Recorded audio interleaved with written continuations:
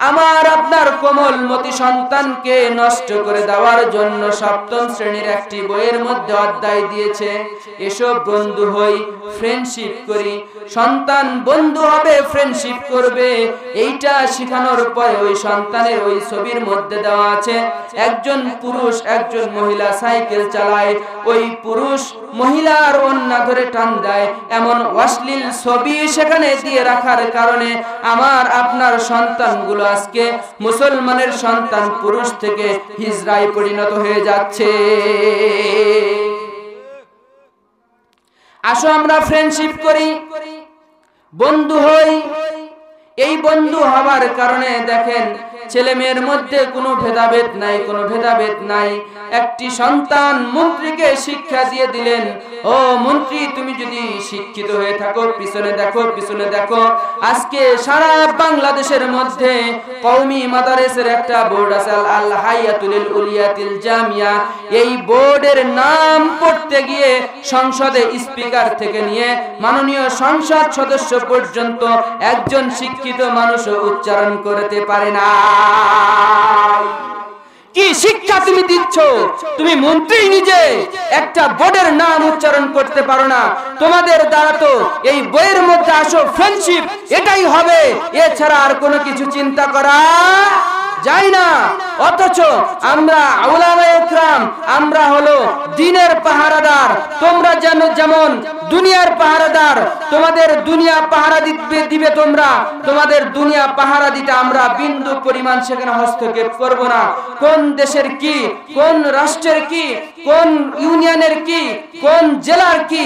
এটা তোমরা খাবে না তোমরা? তোমাদের বাড়ি ঘর করবে। আমাদের কোনো সমস্যা নাই, আমরা ওদিকে তাকাবো না। কিন্তু আল্লাহ রাব্বুল আলামিন মুহাম্মাদুর রাসূলুল্লাহ সাল্লাল্লাহু আলাইহি ওয়াসাল্লামের মাধ্যমে ঘোষণা করেছেন, আল উলামা ওয়ারাসাতুল আম্বিয়া ও নবীগণ সাল্লাল্লাহু আলাইহি ওয়াসাল্লাম মুহাম্মাদুর রাসূলুল্লাহ সাল্লাল্লাহু আলাইহি ওয়াসাল্লাম বলেছেন আল উলামা ওয়ারাসাতুল এখানে নবী বলেন নাই বলেছেন।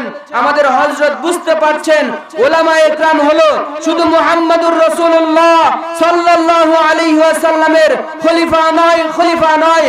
হযরত আদম আলাইহিস সালাতু ওয়াসসালাম থেকে নিয়ে ঈসা আলাইহিস সালাতু পর্যন্ত এমন কি মুহাম্মাদুর রাসূলুল্লাহ সাল্লাল্লাহু আলাইহি ওয়াসাল্লামের খলিফা হলো হযরত একরাম জোরে বলেন, মারহাবা। তো আমরা খলিফা, কি বলেন? আমরা খলিফা, আমরা পাহারাদার। তোমরা যেমন তোমার আসন থেকে নির্বাচিত হয়ে সেই আসনের তোমরা পাহারাদার হতে পারো। আমি একজন নাগরিক খেয়েছি কি খাইনি? আমি একজন নাগরিক কি সুবিধা পেয়েছি? পাইনি। আমি একজন নাগরিক, এটা সমস্যা। আমার রাস্তার সমস্যা, আমার ব্রিজের সমস্যা, সকল কিছু সমাধান করার দায়িত্ব মেম্বার অফ পার্লামেন্ট, কি বলেন? সকল দায়িত্ব আমরা তোমাদেরকে দিয়েছি। তোমাদের এই দায়িত্বের মধ্যে আমরা কিঞ্চিত পরিমাণ হস্তক্ষেপ করি নাই করি নাই, করবও না। কিন্তু মুহাম্মদুর রাসূলুল্লাহ সাল্লাল্লাহু আলাইহি ওয়াসাল্লামের হাদিস আল্লাহ রাব্বুল আলামিনের ঐশী গ্রন্থাল কোরআন। এই হাদিস ও কোরআনের মধ্যে যদি তোমরা কমতি করতে চাও, যদি বাড়াতে চাও, তাহলে আমরা দিন ইসলামের পাহারাদার হয়ে আমরা ওলামা ইকরাম, আমরা তাওহীদি জনতা, আমরা একজন মুসলমান ঘরে বসে থাকতে পারি না পারি না পারি না। আমরা আমাদের সন্তানকে এসব ফ্রেন্ডশিপের মতো শিক্ষায় শিক্ষিত করতে পারব না। আমরা সকলেই মোহাম্মদুর রসুল্লাহ সাল্লাল্লাহু আলাইহি ওয়াসাল্লামের শিক্ষায় শিক্ষিত বল করতে চাই করতে চাই করতে চাই বলেন না, মারহাবা। অধ্যায় কি বলেন? এসো বন্ধু, কোন অধ্যায় হলো? কি অধ্যায় হলো? কি শিক্ষা এখান থেকে নিবে? কোন শিক্ষা এখানে নাই, কিন্তু আমাকে আপনাকে শিক্ষা নিতে হবে। ও ভাইরা আমার, বন্ধুরা আমার, তোমরা যদি এইটা করতে হযরত মুহাম্মদুর রাসূলুল্লাহ সাল্লাল্লাহু আলাইহি ওয়াসাল্লামের জীবনে শিখে, কি বলেন? এসো মুহাম্মদুর রাসূলুল্লাহ সাল্লাল্লাহু আলাইহি ওয়াসাল্লামের সাথে পরিচিত হই।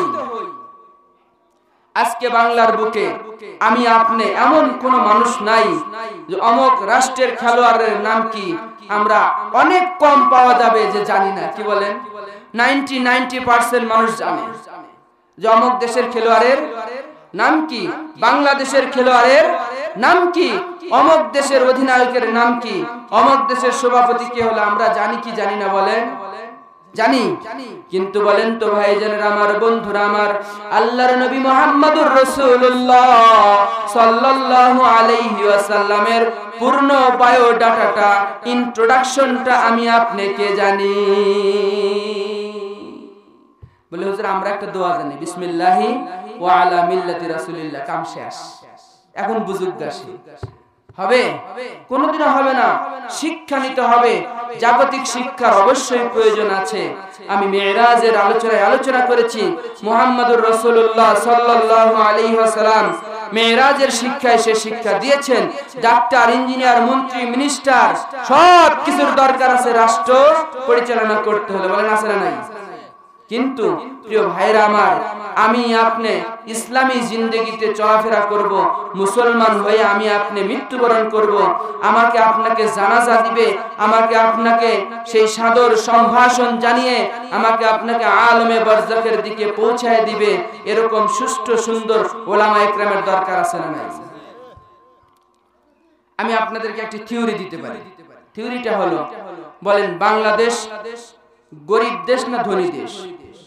গরিব দেশ কেন? আপনি বসে থাকেন। আপনি তো ফজরের আগে থেকে কাজ শুরু করেছেন। রাত দশটা বেজে যায় তারপরেও কাজ শেষ হয় না। তাহলে আপনি কেন গরিব থাকবেন? গরিব থাকার একটি কারণ অনলি ওয়ান কি?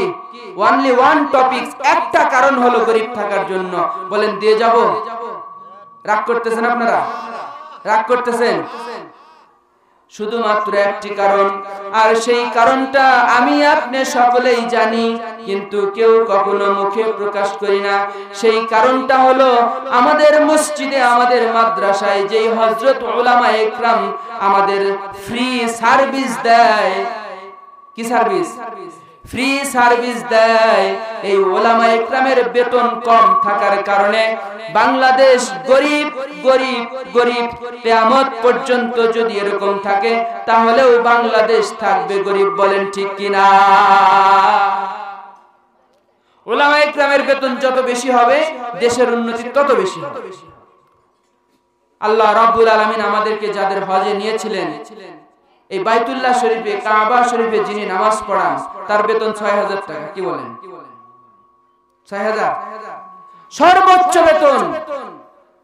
মক্কা শরীফের যতগুলো কর্মচারী, কর্মকর্তা রয়েছেন, সকল কর্মচারী, কর্মকর্তার উঠতে হলো আব্দুর রহমান আসুদাইসির বেতন। বলেন সোহান তো বরকত আল্লাহ ওখানে দিবে না তা আপনাকে দিবে। বরকত নাজিল ওখানে হবে না তা আপনাকে হবে না ছয় হাজার টাকা বেতন দেওয়ার পরে যে কেলু মারে। কি বলেন? আছে না নাই? কুমিল্লার ওদিকে আমরা জালসা করতে যাই সেখানে লোক তো পান বেশি খায়। তো মজা করে বললাম আপনি পান খান ঠিক আছে কত টাকা খরচ হয়? বলে মাসে পাঁচ ছয় হাজার টাকা খরচ হয়। কি খাইতে। পান খাইতে। ইমাম সাহেবের বেতন কত? বলে ছয় হাজার টাকা। আপনি একটা পাতা চিবাইয়া পানি ফেলে দেন, সেইখানে পাঁচ ছয় হাজার টাকা খরচ হয়ে যায়। খাদ্য খাওয়ার পরে, আর আমার দেশের ইমাম ওলামা ইকরাম, তারা উদর পুরা করে তো খেতে পারেই না। তার সন্তান রয়েছে, বিবি রয়েছে, মা বাবা রয়েছে, তাদেরকে নিয়ে কি অবস্থায় থাকে? এইটা যতক্ষণ পর্যন্ত আপনি বাংলাদেশ সরকার, মেম্বার অফ পার্লামেন্ট যারা আছেন, তারা যতক্ষণ পর্যন্ত এইখানে দৃষ্টিগোচর না করবেন, আপনি শত চেষ্টা করলেও বাংলাদেশকে কখনোই বড়লোক করতে পারবেন না। অথচ উনিশশো একাত্তর সালে যারা নিজের জীবনকে বাজি রেখে শহীদ হয়ে লক্ষ লক্ষ মা বোনেরা তাদের ইজ্জত খোয়ায়ে আমাকে আপনাকে সুন্দর, স্বাধীন, সার্বভৌম বাংলাদেশ দান করেছেন, কি বলেন? উচিত ছিল, মেহনত করে বাংলাদেশকে সর্বোচ্চ লেভেল পর্যন্ত নিয়ে যাওয়ার জন্য। এই জন্য শিক্ষা নিতে হবে কোরআনের কার? শিক্ষা নিতে হবে কোরআনের। একজন আলেম যখন কোরআন হয়, একজন আলেম যখন আলেমে কোরআন হয়, হক্কানি রব্বানি আলেম হয়, আমরা যদিও বা দেখতে পারি, দুনিয়ার বুকে তার কোনো মান ইজ্জত নাই, সম্মান নাই। টাকা পয়সা নাই।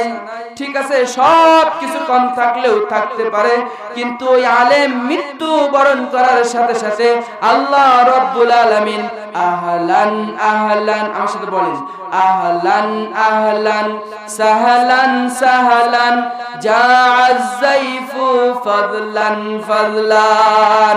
ওয়েলকাম হে আমার বান্দা, তুমি আমার কাছে এসেছ।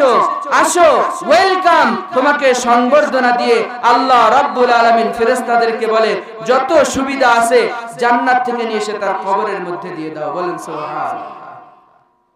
এই জন্য আমাদের উজ্জ্বল একজন নক্ষত্র, তিনি বলেছেন মসজিদেরই পাশে আমার কবর দিও ভাই, মুয়াজ্জিনের আজান যেন গর হতে শুনতে পাই উনি বুঝেছে মসজিদের পাশে শোয়ার কি ফজিলত? এই জন্য তিনি সেটা চেয়েছেন। আল্লাহ রাব্বুল আলামিন কবুলও করেছেন। এই জন্য আমি আপনি ওলামা ইকরাম তাদেরকে ভালোবাসবো আমার সন্তানকে আলেম বানাবো আমার সন্তানকে মাদ্রাসায় পড়াবো। আল্লাহর নবী মুহাম্মদুর রাসূলুল্লাহ সাল্লাল্লাহু আলাইহি ওয়াসাল্লাম বলেন কুন আলিমান আও মুতাআল্লিমান আলেম হও না হলে আলেমের ছাত্র হও। বলেন সুবহানাল্লাহ। আজ আমরা আলেম দেখে ভয় পাই। আজ আমরা ওলামা একরামকে শত্রু মনে করি। ওলামা একরাম হক কথাটা বলার কারণে তাদেরকে আমরা জিনজিরখানায় পৌঁছায় দেই। তোমরা পৌঁছায় দাও, ঠিক আছে ঠিক আছে। এই ওলামা একরাম যারা জিনজিরখানায় যায়, তাদের হযরত ইয়াকুব আলাইহিস সালাতু ওয়াসসালামের সন্তান, ইউসুফ আলাইহিস সালাতু ওয়াসসালামের সুন্নাত আদায় হয়ে যায়। সুবহানাল্লাহি ওয়া বিহামদিহি। এই জন্য ওলামা একরাম নির্যাতন, মাজলুম নির্যাতন সহ্য করে। এই দিকে লক্ষ্য করে। আপনারা মনে করবেন না যে হাইরে এত বড় হুজুর মানুষ আর তাকে জেলে পাঠিয়েছে। না জানি কত কি। আসলে কিছুই না। কি বলেন? মাসির উপর আছে না বলেন? মা কি বলে? মাসার উপরে কে রে? মা আমি? আসলে সবাই কিন্তু দোষ কার? দোষ করল জুলাইখা। দোষ হলো কার? ইউসুফ দুনিয়া এভাবেই চলছে। তারাও বলে, ঠিক আছে হুজুর, আসলে ব্যাপার না। আপনারা তো এর মানেই আসতেছেন। মোটামুটি কিয়ামত পর্যন্ত মানে মানেন। ফায়দা দিব, বরকত দিব। ওরা আমাদের অস্কর। ইউসুফ আলাইহিস সালাতু ওয়াস সালামের দুইটা জামা। কয়টা জামা? একটা জামা জুলাইখা ছিঁড়ে দিল আর একটা জামা ভাইরা একটু কায়দা কুন্না করেছিল, কি বলেন? ভাইরা সেই জামাটাতে একটু রক্ত মাখাইয়া নিয়ে গেল, আব্বা। কি বলেন? গেছে না? আব্বা, কি ব্যাপার? আমার ইউসুফ কই? তারা তখন তিনটা ফোন দিয়ে আটলো, তিনটা ফোন দিয়ে আটলো, এক নাম্বার, ও আব্বা, আমরা একটু ইউসুফকে জামা কাপড় পাহারা দেওয়ার জন্য রেখে গিয়েছিলাম, একটু দূরে গিয়ে খেলছি, কিন্তু আকালা জিবু তাকে বাঘে খেয়ে ফেলেছে। দুই নাম্বার, তারা ফোন দিয়ে আটলো। বাবা, আমরা তাকে রক্ষণাবেক্ষণ করতে পারি নাই। অঝোর কান্নায় তারা কান্না শুরু করে দিল। যেই কান্না করার কারণে আল্লাহ রাব্বুল আলামিনের নবী ইয়াকুব আলাইহিস সালাতু ওয়াস সালামের দিলের মধ্যে মায়া চলে আসলো বলেন। ভালো একজন মানুষ কান্না করলেও মায়া আসে হ্যাঁ? চোর চুরি করার পর এ যে কান্না শুরু করে, এখন মনে হয় যে বাবা আরও কিছু দিয়ে ছেড়ে দিয়ে বলেন ঠিক কিনা? তিন নাম্বার হলো মাঠে মায়া তিন নাম্বার হলো তারা যে জামাটা নিয়ে আসলো, এই জামাতে রক্ত মাখায় নিয়ে আসলো। তারা কয়টা ষড়যন্ত্র করল? তিনটা। এক নাম্বার হলো, আব্বা আপনি যে বলছেন বাগে খাবে বাগে খায় ফেলছে। আব্বা, আসলে আপনি সত্যি নবী। আপনি যা বসেন তাই হয়েছে। কি বলেন? মাঝে মাঝে মারে না, এরকম পাম মারে না? আর দুনিয়া তামশিয়ালাল পাম। কি? দুনিয়া পামের উপরে চলে। বলেন? পাম দিতেছে, আব্বা, আপনি আসলেই সত্য নবী। যা বলেছেন তাই হয়েছে। আকালা জিপ তাকে বাগে খেয়ে ফেলেছে। আব্বা আমার ভাইকে বাগে খেয়ে ফেলেছে এই জন্য আমরাও দুঃখিত, ব্যথিত। সেই বন জঙ্গল থেকে কাঁদতে কাঁদতে আসতেছে, চোখের পানি ফুরায় না। তিন নাম্বার জামাটা দিয়েছে, বাবা, এই যে আমার ভাইয়ের জামা, দেখেন, রক্ত মাখা রক্ত মাখা। কিন্তু চোর যতই চুরি করুক, আলামত রেখে যায়। রাখে না বলেন? এই যে শিং করে আসিল না আগে, এটা একটা ঐতিহ্য এখন এখন আর নাই। কি শিং করব? আপনাদের এলাকায় তো আগে মাটির ঘর ছিল, এখনও মোটামুটি পাকা হওয়া শুরু করে দিছে। ভাত ওদের শেষ।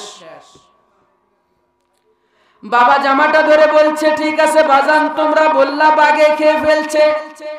এমন শিক্ষিত বাপ আমার ইউসুফকে খেলো যে জামাটা পর্যন্ত একটুকু ছিঁড়ে নাই। বলেন, বাঘে যদি জামার মধ্যেকার জিনিস খায়, ছিঁড়বে কি ছিঁড়বে না? একেবারে শেষ। ঠিক আছে, ধৈর্য ধারণ করলাম। ইয়াকুব আলাইহিস সালাতু ওয়াসসালামের এই সন্তানগুলো কত মেধাবী ছিল, কত মেধাবী ছিল। একটি ঘটনা শোনাবো কি আপনাদের? একদিন সন্তানগুলো রাস্তা দিয়ে হেঁটে যাচ্ছে। যেতে যেতে তারা বলা বলি করতেছে, এই রাস্তা দিয়ে একটা গাভী গেছে। কি গেছে? গাভী গেছে। এই গাভীটার একটা চোখ কানা বলেন না আমার হাওয়া আর একজন বলতেছে, ভাই, এই গাভীটা সম্ভবত আট মাসের গর্ভবতী, অন্তঃসত্ত্বা। এই গল্প করতেছে রাস্তা দিয়ে। যেই রাস্তা দিয়ে যাচ্ছে, ওই রাস্তাতেই ওই গাভিয়ালার বাসা। কয়েকদিন আগে হারায়া গেছে। এই গাভি খুঁজে পায় না পায় না পায় না। এইবার চোরের দলকে ধরছে। বলো বেটা, আমার গাভি কোথায়? আমরা তো নেই নাই, আমরা তো নেই নাই। বলে, গাভী এই রাস্তা দিয়ে গেছে, তা দেখতে পারলা। গাভীর একটা চোখ কানা তাও বলতে পারলা। আমার এই গরুটা আট মাসের অংশ সত্তা সেটাও ঠিকই বলেছ, মক্কর করো। কিন্তু আগের যুগে এরকম ছিল? যে ঠিক আছে, চোর ধরে নিয়ে রাজার কাছে চলে যায়। কার কাছে? রাজার কাছে চলে যায়। রাজা মশাই, আমার গাভী হারিয়ে গিয়েছে, বিচার দিয়েছিলাম, চোর খুঁজে পাইছি, এবার শাস্তি দেন। খারাপ লাগতেছে আপনাদের? শুনছেন আগে এই কথা? যদি শোনেন, তাহলে আর কমুন, আর একটা কই? বলব? কোন নবীর ঘটনা? ইউসুফ আলী সালামের ভাই, তারা এই সলা পরামর্শ করছে রাস্তা দিয়ে ইয়াকুব আলী সালামের সন্তান দয় এবার বলছে, ঠিক আছে, এই চোরের দল যারা এসেছে, তাদেরকে আগে খাবার খাওয়াও, বিচার পরে হবে। আগে খাবার খাওয়াও, বিচার পরে হবে। এবার খানা খেতে দিয়েছে, রুটি দিয়েছে, রুটি। এই বারো ভাইয়ের মধ্যে যারা ওইখানে ছিল, তারা রুটি খায় আর এক ভাই বলে, ও ভাই, যে রুটি খাইতেছি, এই রুটি যে বানাইছে যে বানাইছে, ওই মহিলা এখন এখন ঋতুবতী অবস্থায় আছে, অপবিত্র আছে, তার মাসিক চলতেছে। এই কথা রাজা দূর থেকে শুনে ফেলছে। আচ্ছা বলেন, মা বোনেরা ভাত, তরকারি যাই রান্না করুন যদি আপনি একটু দোষ দেন, কালকে ভাত দিবে আপনাকে। লবণ কম হলেও বলবেন যে খুব ভালো হয়েছে। তাহলে দেখবেন পরের দিন তরকারি ভালো। রাজা বলল, ঠিক আছে, একটা বিচারের জন্য তোমরা এসেছিলে তোমরা এসেছিলে। বিচার হয়ে গেল কয়টা এখন? আমার বাবুর চিদি আমি রান্না করিয়ে রুটি ভেজে তোমাদেরকে খেতে দিয়েছি। আর তুমি বলতেছো, তার এই অবস্থা, এটা কি বলা যায়? নাম্বার তিন আর এক ভাই ডাক দে বলো ভাই, এই রাজার মনে হয় জন্মের দোষ আছে। বলেন রাগ হবে কি হবে না? হ্যাঁ? অবশ্যই রাগ হবে। এইবার রাজা বলতেছে, খাওয়া রাগ এবার। এতক্ষণ অনেক সহ্য করছি। হ্যাঁ? খাওয়া শেষ হয়ে গেছে। ঠিক আছে, বলো বলো। তোমরা যে বললে, ওই ব্যক্তির গরু এমন এমন ছিল, গরু কোথায় দেখেছ? বলে, না রাজামশাই আমরা গরু দেখিও নাই, নেইও নাই। আমরা যে রাস্তা দিয়ে আসলাম, এটা একটা সরু আল ছিল। জমির মধ্যে আল থাকে না, যেটা আমরা বেশি কাটতে পটু, কি বলেন? হ্যাঁ? সকালে ফজরের আজান দেওয়ার আগেই ইমাম সাহেবকে যায় ডেকে উঠাই হুজুর, ওঠেন, আজান দেন, সকাল হয়ে গেছে, পরের বাড়ি খান তো, গম ছাড়ে না। নামাজ কালাম পড়েই কোদালটা কাঁধে নিয়ে গিয়ে আর এক ভাইয়ের আল এমন ভাবে কাটে যে ও যদি ছাটে তাহলে দুই আল আল উঠে গিয়ে দুই চড়া হয়ে যাবে। কি হয় না? এই আল দিয়ে যে ঘাস ছিল, এই গরু ঘাস খেয়েছে, শুধু এক মুড়া খাইছে, তার মানে ওর এক চোখ ভালো, আর এক চোখ অন্ধ। কি বুদ্ধি দেখছেন?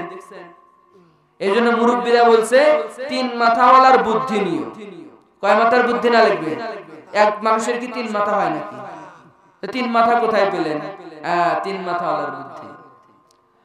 এই গরুটার একটা চোখ কানা, এই জন্য সে এক সাইড দিয়ে খাইছে আর এক সাইডে খায় নাই। ঠিক আছে, ভালো কথা। তাহলে কেমনে বুঝলা এই গরুটা আট মাসের অন্তঃসত্ত্বা? বলে, রাজা মশাই, একটা গরু চার পায়ের উপরে দাঁড়িয়ে থাকে। বলেন, ঠিক কিনা ঠিক কিনা? একটা গরু চার পায়ের উপরে দাঁড়িয়ে থাকে। তার প্রথম দুই পা যে আছে, এই প্রথম দুই পা বেশি গর্ত হয় অল্প হালকা। কিন্তু পিছনের দুইটা পা একটু ডেবে গেছে, একটু ডেবে গেছে। তার মানে তার পেটের মধ্যে বাচ্চা আছে। সুবহানাল্লাহ। কত বুদ্ধিমান! কত নলেজ তাদের। ঠিক আছে, ভালো কথা। এই যে তার পেটের মধ্যে সন্তান আছে, বাচ্চা আছে, কেমনে বুঝলে? বলো যে পিছনের দুইটা পা বেশি গর্ত হয়ে গিয়েছে, এইটা দেখে বুঝলাম এটা প্রায় আট মাসের অন্তঃসত্ত্বা। ওইটা আসবে তখন। বাচ্চা সব হয়ে গেছে, পাঁচ মাস সব হয়ে যায়। পাঁচ মাসের পরে বাচ্চা বড় হতে থাকে ওয়েট আসে আমি কিন্তু একটা ওয়াজ ঠেকায় রাখছি, মনে আছে? ওই যে সন্তান, কয়বার লাঠি মানে মায়ের কলি যায়? আজকে সারা রাত লাগবে কিন্তু বলতে, রাজি আছেন? হুজুর ঘুম ফিরে গেছে। আচ্ছা অস্ত্র করে নিয়ে আসতেছি হ্যাঁ? ছোটই করে।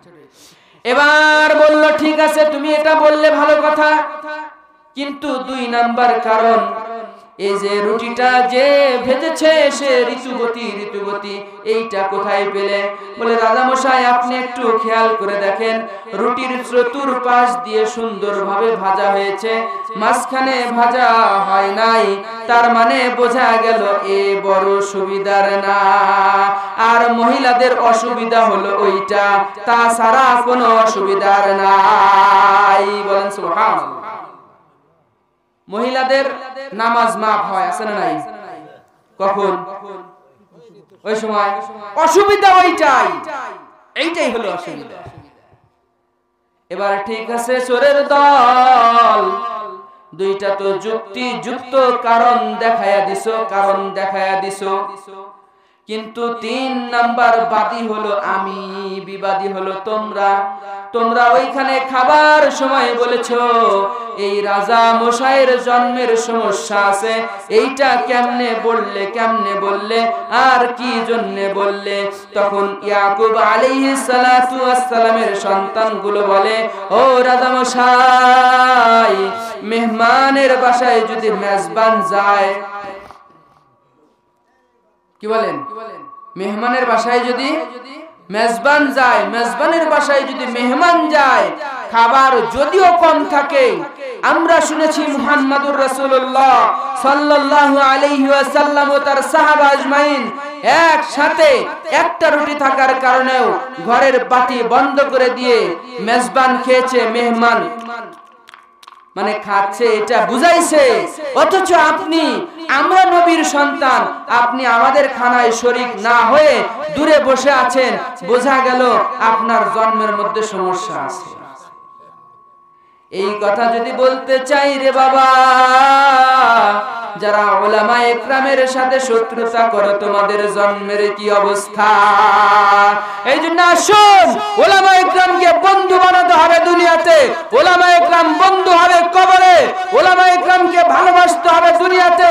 ওলামা একরাম দাঁড়িয়ে থাকবে মিজানের পাল্লাতে। ওলামা একরামকে মহাব্বত করতে হবে দুনিয়াতে। ওলামা একরাম দাঁড়িয়ে থাকবে জাহান্নামের দরজাতে। ওলামা একরামকে মহাব্বত করবেন দুনিয়াতে। ওলামা একরাম আপনাকে খুঁজে খুঁজে বের করে জান্নাত পর্যন্ত পৌঁছায় দিবে। জোরে বলেন, সুবহান।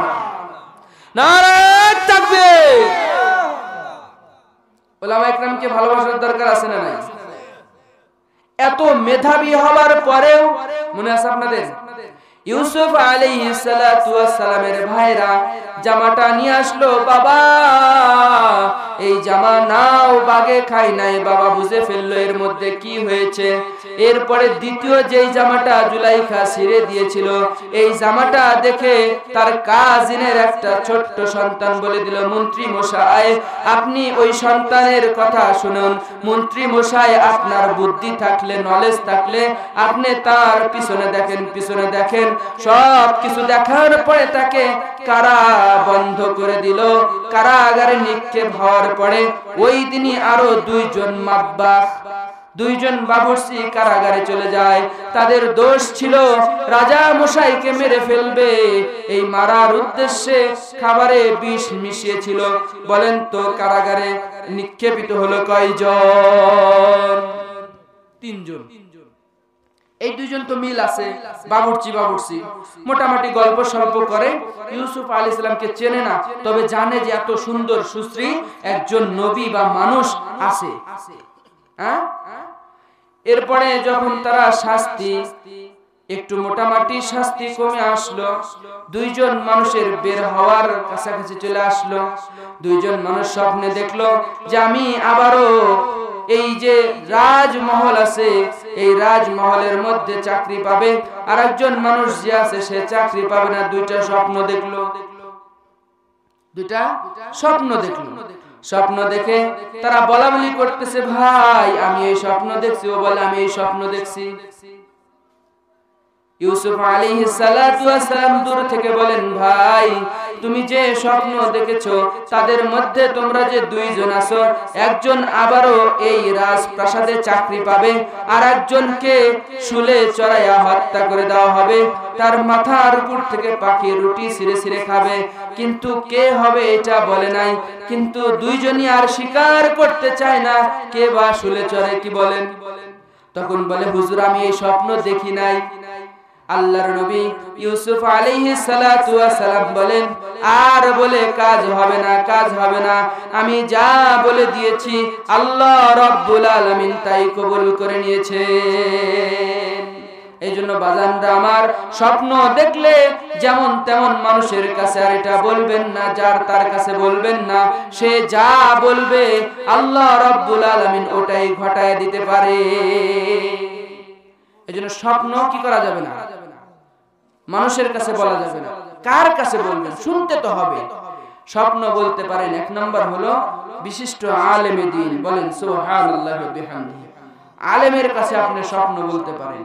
দুই নাম্বার স্বপ্ন ব্যাখ্যা বিদ আছেন অনেকেই। যারা স্বপ্নের ব্যাখ্যা করতে পারেন এরকম মানুষের কাছে যদি আপনি বলেন তাহলে আপনি বিপদে পড়বেন না আপনি বিপদে পড়বেন অন্যথায় বিপদে পড়ে যাবেন। ইউসুফ সালাম বললেন, ঠিক আছে ভাই, তোমাদের আমি এটা বলে দিলাম তারা বের হয়ে গেল। আর বের হওয়ার সময় ইউসুফ সালাতু সালাম বলে দিও তোমাদের যে বাদশা আছে, তাকে বলো, এই কারাগারের মধ্যে একজন মানুষ আছে, সে স্বপ্নবিদ, স্বপ্ন ব্যাখ্যা দিতে পারে। কিন্তু এই মানুষগুলো আসার পরে ভুলে গেল, আর বলল না বলল না।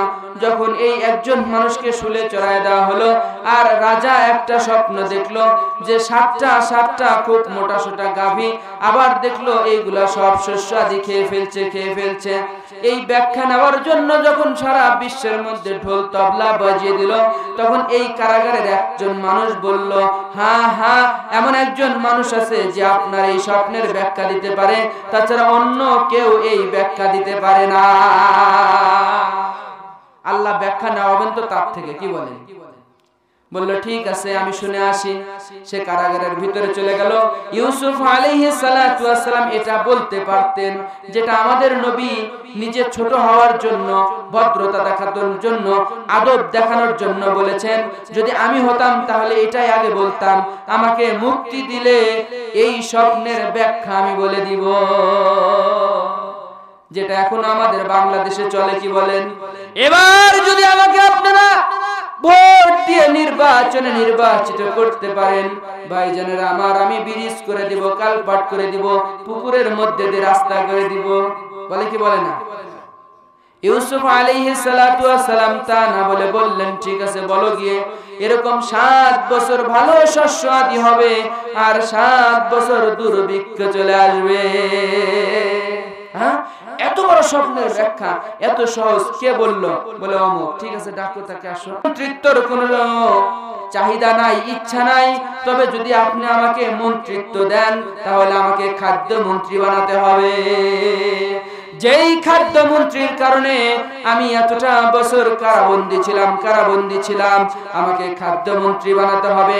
ইউসুফ আলী সালাম কেন চেয়ে নিলেন দেখেন?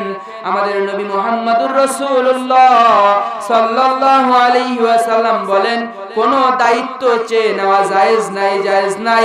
কিন্তু ইউসুফ সালাতু সালাম নিজে চেয়ে নিলেন যে আমাকে খাদ্য মন্ত্রী বানায় দেন, তাহলে কেমন হলো? তবে হ্যাঁ ওই দায়িত্ব চেয়ে নেওয়া জায়েজ আছে, যেই দায়িত্ব আপনি সঠিকভাবে পালন করতে পারবে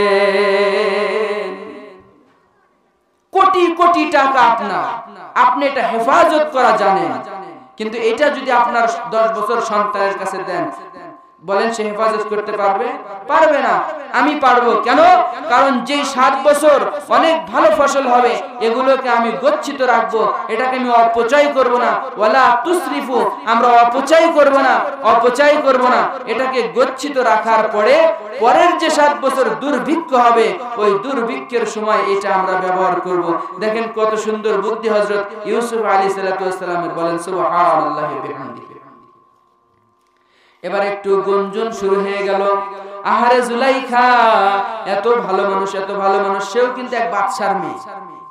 আর এই ভালো মানুষ একজন গোলাম বাদি কিনে নিয়ে এসেছে, তার প্রেমে পড়েছে। কি বলেন? আশিকু কা ক্যা মজা হায় মাসে পুছে পুছিও। প্রেমিক, প্রেমিকার প্রেমাস্পদের কি যে হৃদ্রতা, কি যে ভালোবাসার বন্ধন, এটা প্রেমিক প্রেমিকাকে জিজ্ঞাসা কইরো।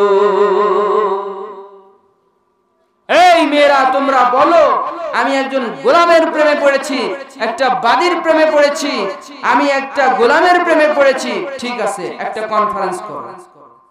একটা কনফারেন্স অ্যারেঞ্জ করল। এই কনফারেন্সের মধ্যে দুই পাশ দিয়ে মেয়েদেরকে দাঁড়ায় দিল। ইউসুফ আলী সালাতামকে বলল যে, তুমি একটু মাঝখান থেকে হেঁটে যাও। হাতে একটা আপেল আর একটা চাপ মেয়েদের হাতে দিয়ে দেওয়া হলো। বলে তোমরা ইউসুফকে দেখবা আর কাটবা। দেখবা? আর কাটবা। ইউসুফ, তুমি একটু এই মাঝখান দিয়ে যাওয়া আর আসবা। ইউসুফ আলাইসালাম যখন বের হয়েছেন, মাঝখান দিয়ে যাচ্ছেন, সকল নারী আপেল কেটে তার হাতও কেটে ফেলেছেন। আর কেউ টেরি পায় নাই, টেরি পায় নাই, টেরি পায় নাই। জুলাইখা বলে, তোমাদের হাত দিয়ে রক্ত পড়ছে। বলে, রক্ত কেন হাতের? যদি কলিজাও কেটে ফেলি, আমি, আপনি কেউ বুঝতে পারব না। এত সুন্দর ইউসুফের প্রেমে শুধু জুলাইখা কেন? আজকের থেকে আমরা সবাই পাই নবী সালামের সৌন্দর্যের কথা মনে আছে কিনা? আমার নবী ইউসুফ চাইতে আরও কত সুন্দর ছিল, কত সুন্দর ছিল। আবু জাহেলের মতো লোক মুহাম্মদুর রাসূলুল্লাহ সাল্লাল্লাহু আলাইহি ওয়াসাল্লামকে দেখেছে। এবার খাদ্য মন্ত্রী হবার পরে যখন দুর্ভিক্ষ, এই দুর্ভিক্ষের সময় তারা ত্রাণ দেওয়া শুরু করল। ইয়াকুব আলী ওই সন্তানগুলো আসলো, ত্রাণ নিয়ে গেল, বলল যে, পরের বার যদি তোমরা আসো, ওই যে তোমার বাবার কাছে একটা শার্ট আছে, জামা আছে। বলেন, আছে না নাই? আছে না নাই। ওইটা নিয়ে আসো তাইলে। এরপরে নিয়ে আসলো। এটাতে বলল যে, আমার বাবা তো আর চোখে দেখতে পারে না, আসতে পারবে না। আমার বাবা অন্ধ প্রায় হয়ে গেছে ইয়াকুব আলী সাল্লাম বলে হ্যাঁ এই জামাটা নিয়ে তোমার বাবাকে দিবে, সে যেন চোখের মধ্যে এভাবে মেলে। আল্লাহ রব্বুল আলমিন চোখের দৃষ্টি ফিরিয়ে দিবে। বলেন আজকে আমি আপনাদের একটা ওষুধ দিয়ে যাব। ইউসুফ আলাইহিস সালাতু এই জামা ইয়াকুব আলাইহিস সালাতু ওয়াসসালামের কাছে যখন পৌঁছানো হলো, এই জামাটা যখন ইয়াকুব আলাইহিস সালাতু ওয়াস চোখে মিললেন, আমার আল্লাহ রাব্বুল আলামিন দৃষ্টি ফিরায় দিলেন, বলেন সুবহানাল্লাহ।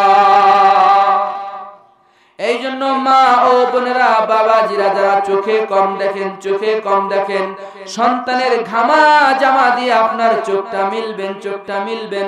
আল্লাহ রাব্বুল আলামিন আপনার চোখের দৃষ্টি ভালো করে দিবেন। নবীদের সুন্নতের মধ্যে শুধু ফায়দা আর ফায়দা। ওলামা একরামের কাজের মধ্যে শুধু ফায়দা আর ফায়দা।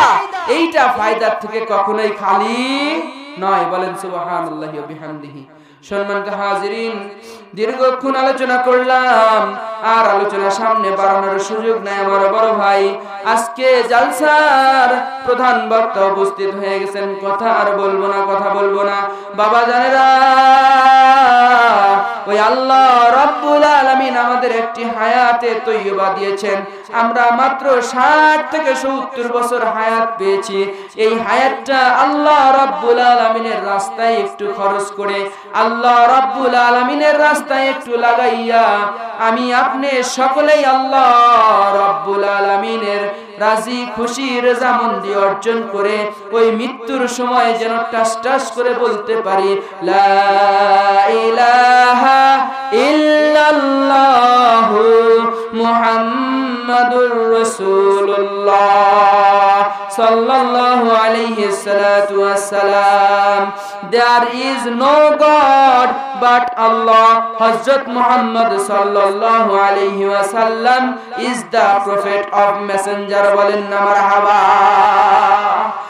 আল্লাহ রব্বুল আলামিন আমাদের জন্য এত সুন্দর একজন নবী প্রেরণ করেছেন। ওই নবীর সাথে একটু মোহাব্বত লাগাইয়া আল্লাহ রব্বুল আলামিনের হুকুম আহকামগুলো পালন করে এই দুনিয়ার থেকে যদি আপনি আপনি কবরে যেতে পারি, আল্লাহ রব্বুল আলামিন মুহাম্মাদুর রাসূলুল্লাহ সাল্লাল্লাহু আলাইহি ওয়াসাল্লামের সার্টিফিকেটটা, বিসমিল্লাহি ওয়া আলা মিল্লাতি রাসূলিল্লাহ, এই সার্টিফিকেটটা আল্লাহ রব্বুল আলামিন কবরের মধ্যে রেখে দিবেন। যত ফেরেশতায় আসুক না কেন, আযাব গজবের ফেরেশতা প্রবেশ করতে পারবে না। জোরে বলেন না, মারহাবা। এজন্য একটু আল্লাহ আল্লাহ রাসূলের কাজ করা যাবে তো ইনশাআল্লাহ। বলেন, ইনশাআল্লাহ যাবে? ইনশাআল্লাহ। আল্লাহ রাব্বুল আলামিন তাবারাকা ওয়া তাআলা আমাদেরকে তৌফিক এনায়েত করেন যে আমরা আল্লাহ রাব্বুল আলামিনের কাজ করব। বলেন, আলহামদুলিল্লাহ। অন্তত দৈনন্দিন পাঁচ অক্ত নামাজের পরে একশো বার করে, পাঁচশো বার আল্লাহ আকবার আল্লাহ আকবার আল্লাহ আকবার, অথবা আল্লাহ আল্লাহ আল্লাহ সুবহান আল্লাহি ওয়া বিহামদিহি সুবহান আল্লাহিল আজিম তাসবিহ ফাতেমি আমরা, আমি সকলে, আমি আপনি তেলাওয়াত করতে পারব তো ইনশাআল্লাহ। الذين يذكرون الله قياما وقعودا وعلى جنوبهم ويتفكرون في خلق السماوات والأرض آية আমি আপনি যে যে অবস্থায় থাকি না কেন আমি আপনি যে যে অবস্থায় থাকি না কেন সর্বদাই আমি আপনি আল্লাহ রব্বুল আলামিনের জিকির আজগার করব বলেন সুবহানাল্লাহ ক্ষেত খামারের মধ্যে আমি আপনি চলে গেছি, সেখানে আল্লাহ। আমি আপনি বাসায় বসে আছি, সেখানে আল্লাহ। আমি আপনি চাষটালে বসে আছি, অনর্থক গল্প না করে স্মরণ করব কাকে বলেন আল্লাহ। এরপরে আর একটা আমল আমি আপনাদেরকে দেব। সে আমলটা হলো, আমি আপনি মোহাম্মদ রসুল্লাহ সাল্লাল্লাহু আলাইহি ওয়াসাল্লামকে দেখার একটা আমল। বলেন সুবহানাল্লাহি ওয়া বিহামদিহি। বলেন? আমরা দেখতে চাই মোহাম্মদ রসুল্লাহ সাল্লামকে একটা ছোট্ট একটা আমল। আমলটা হলো, আমি আপনি যখন বিছানায় পিঠ লাগিয়ে দিব, বালিশে মাথা লাগাই দিব। বিছানায় পিঠ লাগিয়ে দিব, বালিশে মাথা লাগাই দিব, দিয়ে আমরা দোয়া পড়ে চোখটা বন্ধ করে পড়তে থাকব। সাল্লাল্লাহু আলাইহি ওয়াসাল্লাম, সাল্লাল্লাহু আলাইহি ওয়াসাল্লাম, অথবা আল্লাহুম্মা সাল্লি আলা মুহাম্মাদ ওয়া আলা আলি মুহাম্মাদ, কামা সাল্লাইতা আলা ইব্রাহিম ওয়া আলা আলি ইব্রাহিম আপনি পড়তে থাকবেন পড়তে থাকবেন। আল্লাহর নবী মুহাম্মদুর রাসূলুল্লাহ। আপনার সাথে স্বপ্নে দেখা দিয়ে দিবে, সুবহানাল্লাহ। জিব্বাটা তরুতাজা থাকবে, জিব্বাটা ভিজা থাকবে। সকালে ঘুম থেকে ওঠার পরে জিব্বাটা মিষ্টি মিষ্টি ভাব হবে। পড়া যাবে কি যাবে না? ইনশাল্লাহ আমরা সকলেই জানি দুরুশ্বরী সকলেই পড়ব। আর একটা আমল আজকে হলো জুমাতুর রাত। কি বলেন? আজকে জুমার রাত। জুমার নামাজ পড়ার পরে একটা নামাজ আছে। জহরের নামাজ পড়ার পরে একটা নামাজ আছে না? জুমার নামাজ পরে একটা নামাজ আছে। নামাজের নামটা কি বলেন? আসরের নামাজ। আসরের নামাজ যেখানে পড়েছি, ওইখানে বসেই। কারোর সাথে কোনো কথা না বলে, আল্লাহুম্মা সাল্লি আলা ওয়া আলা আলিহি ওয়া সাল্লিম তাসলিমা। আমার সাথে বলেন, মুখস্থ হয়ে যাবে। আল্লাহুম্মা সাল্লি আলা